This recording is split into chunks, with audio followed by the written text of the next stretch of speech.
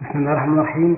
أهلا بيكم خلونا نكمل المحاضرة الثالثة من محاضرات ال computer system كنا المحاضرتين اللي فاتوا اتكلمنا عن ال hardware وال software والنهاردة بإذن الله هنبتدي بالمكون الثالث من مكونات ال computer system اللي هو ال firmware ال firmware هو software موجودة على hardware بمعنى إن في chip أو IC أو مكون موجود على ال motherboard الموجودة داخل أجهزة الكمبيوتر المختلفة واللي بيسمى ال BIOS ال BIOS دوت موجود جواه software هو اللي بيتحكم في عملية التحميل الخاصة بالجهاز وكمان هو اللي بيخزن بعض المعلومات جواه زي ال password الخاصة بال motherboard نفسها وزي الساعة الخاصة بجهاز الكمبيوتر. وعلشان كده بيسموا ساعات ال BIOS ال ROM لأن المعلومات اللي متخزنة في ال BIOS ما بتتشالش بمجرد ما نطفي الجهاز أو نفصل ال power عن جهاز الكمبيوتر. يبقى اللي بيمثل لنا ال firmware داخل ال computer system هو ال BIOS أو ال ROM. دلوقتي هنتكلم على أهم مكونات ال hardware وهنشرحها بالتفصيل.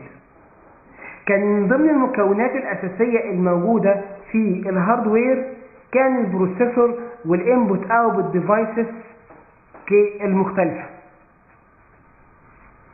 والانبوت والاوتبوت ديفايسز الانبوت ديفايسز والاوتبوت ديفايسز والبروسيسور كلهم بيكونوا متوصلين أو متركبين على ما يسمى اللوحة الأم أو ال motherboard ال motherboard وأحيانا بيسموها ال system board هي اللوحة الأساسية اللي بيكون موجود عليها ال processor ومتوصل بيها ال input devices وال output devices وكمان متوصل عليها أو راكب عليها ال storage بأنواعها المختلفة. الشكل اللي قدامنا دوت هو مثال لل motherboard ال motherboard زي ما حضراتكم شايفين موجود عليها ال chip دي وهي دي ال processor أو ال CPU ال chip دي أو ال IC دوت. ده المعالج المركزي اللي بيقوم بجميع العمليات الحسابية والمنطقية جوه جهاز الكمبيوتر ايا كان نوعه إيه. وزي ما اتفقنا قبل كده إن أهم شركات أو اشهر شركات اللي بتعمل processors هي Intel و AMD وزي ما حضراتكم شايفين هنا في هنا مجموعة من الموصلات ال connectors بما إن ملهاش سنون خارج منها فده مش بيسموه pin grid array لا ده بيسموه land grid array لأن مفيش pins خارجة من ال connectors ديت. ده ال processor اللي بيكون موجود على ال motherboard. ال processor من أهم الأجزاء اللي بتسخن بسرعة جدا نتيجة عملها. علشان كده لازم يكون في مروحة تكون موجودة فوق ال processor لتبريده بصفة مستمرة أثناء تشغيله. وده مثال لل fans المراوح اللي بتكون موجودة فوق ال processor وبتشتغل لما نعمل power on للجهاز علشان تبرد ال processor بصورة مستمرة. وإلا ممكن ال processor يتحرق مننا ويبوظ لو ما كانش فيه تبريد مستمر له. كده بنركب ال processor جوه ال motherboard بتاعتنا وبيتقفل عليه وبيركب فوقه المروحة اللي بتبرده وبيتم توصيل المروحة عن طريق كابل power زي دوت بال motherboard عشان تغذيها بال power وبالتالي تدور فتبرد ال processor. المروحة متركبة على الجزء المعدني ده اللي بيسموه ال heat sink وال heat sink زي ما أنتم شايفين حجمها كبير علشان مساحة السطح بتاعها الكلية تبقى كبير بالتالي يبقى كمية ال heat ال dissipated منها أو تنتشر من خلالها تبقى كبيرة فتساعد في تبريد ال processor بصورة أكبر. وهنلاحظ برضو مع بعض إن في جزء معدني تاني موجود إن هو جنب ال processor. وده برضه heat sink بس من غير مروحة فوقه. يعني معنى وجود ال heat sink دوت إن الجزء اللي تحتيه بيسخن علشان كده محتاجين نبرده عن طريق وضع heat sink فوقه معدنيه ولو بيسخن بسرعة أو بصورة كبيرة بنحط فوق ال heat sink fan علشان أثناء دورانها تبرد لنا ال heat sink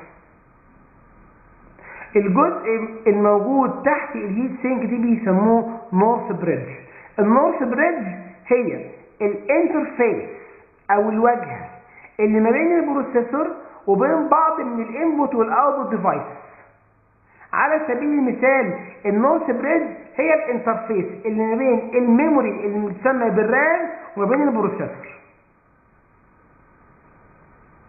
من ضمن أهم الأجزاء الموجودة برضو على ال motherboard الجزء اللي شايفينه قدام حضراتكم دوت اللي هو ال RAM ات. هي دي ال RAM أو ال RAM ات. مكتوب عليها السعة الخاصة بيها والشركة المصنعة.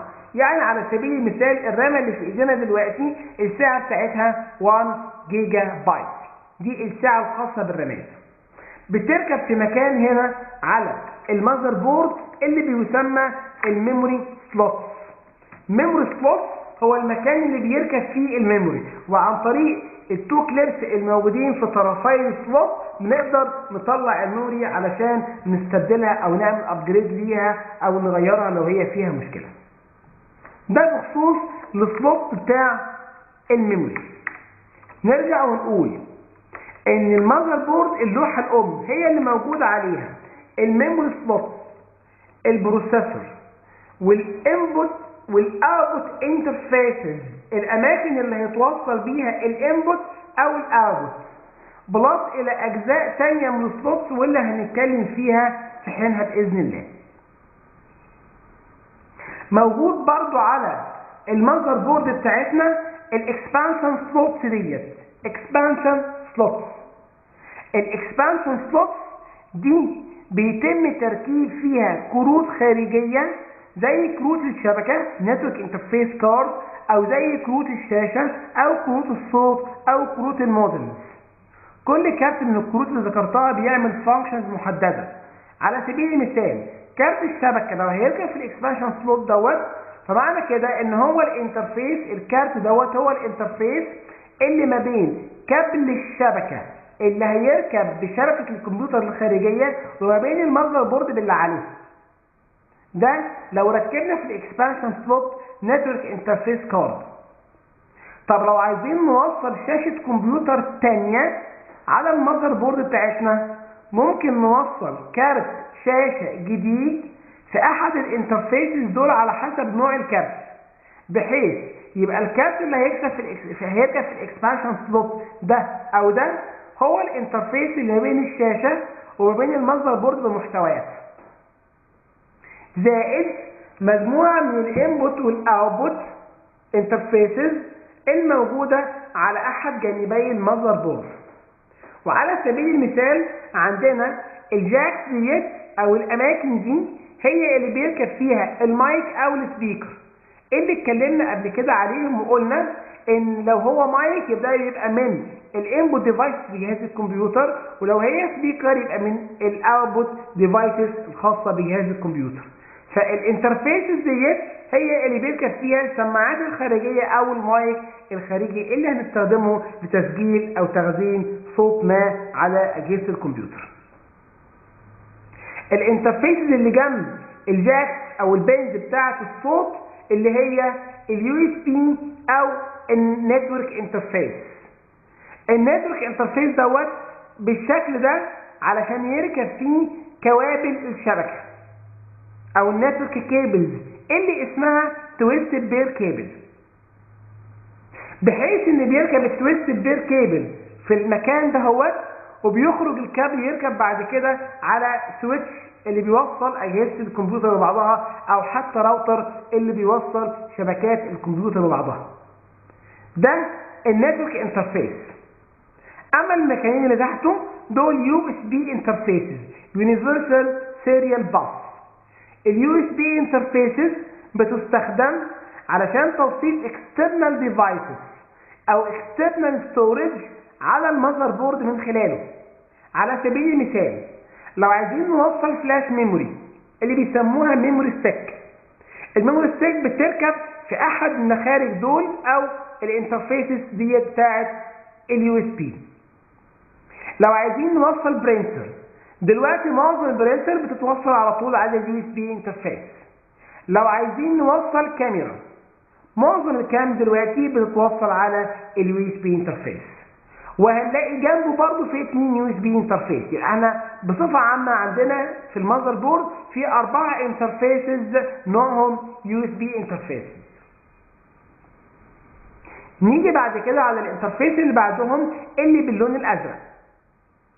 ال interface دهوت فيه 15 فتحة ال pins هنلاقي فيه 15 فتحة موجودين في ال interface ال pin دوت أو المكان ده هو المكان اللي بيركب فيه كابل الشاشة. اللي هيتوصل بال monitor أو بالشاشة اللي تعتبر من أنواع ال output devices وبيسموا ال interface دوت VGA interface VGA interface أما ال interface اللي بعده اللي فيه تسعة pins دوت بيسموه serial interface وال serial interface بيستخدم لتوصيل بعض الأجهزة الخارجية بجهاز الكمبيوتر زي ال routers أو مجموعة من ال switches أو ال modems أو external modems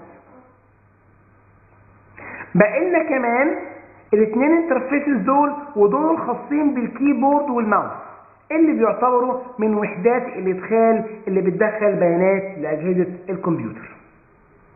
وآخر interface لينا أكبرهم في الحجم دوت بيسموه parallel interface parallel interface ال parallel interface دوت بيستخدم لتوصيل بعض أنواع ال printers على ال motherboard من خلال كابل يماثل ال interface دوت. فده بيسموه parallel interface وبيستخدم لتوصيل بعض أنواع ال printers بكده يبقى اتكلمنا على أهم المكونات وال interfaces الموجودة على ال motherboard. وشكرا لحضراتكم وأشوفكم بإذن الله في المحاضرة القادمة. شكرا.